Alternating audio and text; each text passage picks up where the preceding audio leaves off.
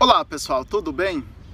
No vídeo de hoje trago uma homenagem muito especial para Marlene Morbeck, a ex-chacrete. Ela que nasceu em Tiriçur, na Bahia, quando veio para o Rio de Janeiro, teve que lutar muito, pois a sua família não aceitava a escolha que ela tinha feita, que era se dedicar à televisão, ao cinema e ao teatro. Marlene Morbeck, pessoal, ela era uma mulher muito bonita, muito inteligente mesmo. Além de ter um talento imenso, ela acabou ganhando um concurso para a Rainha do Carnaval no Rio de Janeiro. Ela, como chacrete, se destacou bastante pelo seu jeito e pela sua facilidade de interagir com as pessoas. Ela ganhou um grande amigo durante a sua vida, o Tim Maia, tanto que ele a incentivou a se tornar uma cantora. E ela foi em frente. E Tim Maia era tão amigo da Marlene que em alguns shows ele só aceitava subir ao palco se ela estivesse lá se apresentando também. Para essa grande mulher que dedicou a sua vida à arte, é a nossa homenagem no vídeo de hoje. Marlene, pessoal, também foi figurinista. Ela produzia os figurinos que eram usados em várias produções da Rede Globo. Ela, pessoal, infelizmente está sepultada aqui no cemitério São Francisco Xavier, no bairro do Caju, no Rio de Janeiro, em uma cova rasa. E após três anos estando sepultada em uma cova rasa, se a família não fizer a retirada dos seus restos mortais e transferirem para outro lugar, infelizmente os seus restos mortais serão incinerados.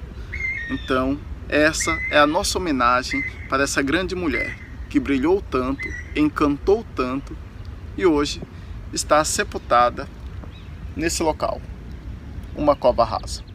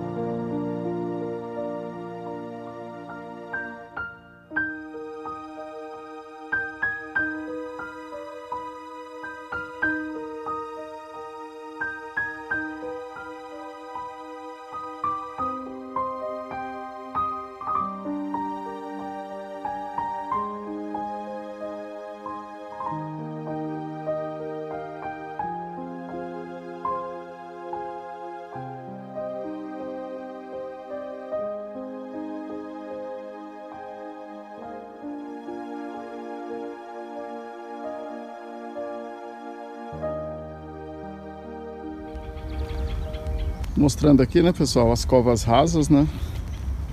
E eu vou me dirigir para o local onde ela está sepultada, né?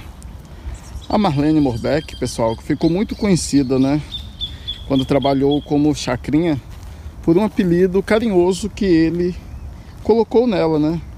O velho guerreiro colocou o apelido dela de Loura Sinistra.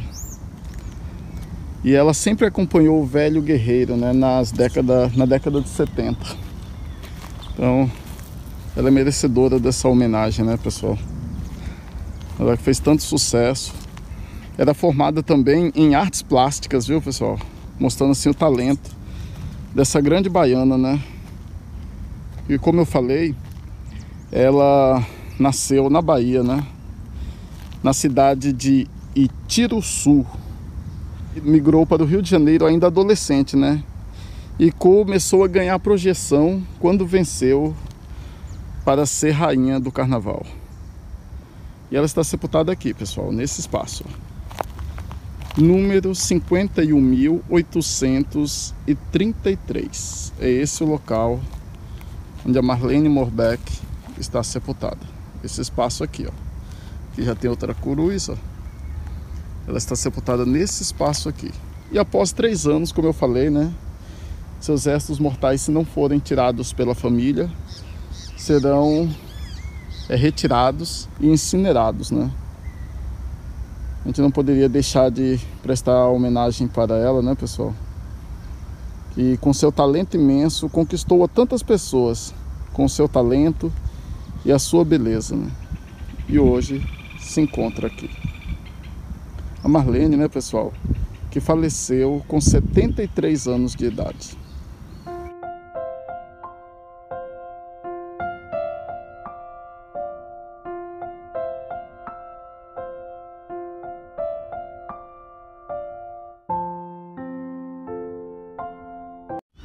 É isso aí, pessoal. Essa é a nossa homenagem para Marlene Morbeck, né?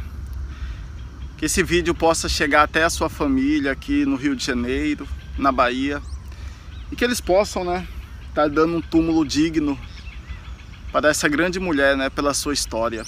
Para que a família, junto com a prefeitura da sua cidade, Sul, se reúna e construa um túmulo digno para ela na sua cidade. Mas que não percam um tempo pois após três anos, infelizmente, os seus restos mortais serão perdidos. Então essa é uma homenagem feita com muito respeito para ela, para a sua família e para a sua história.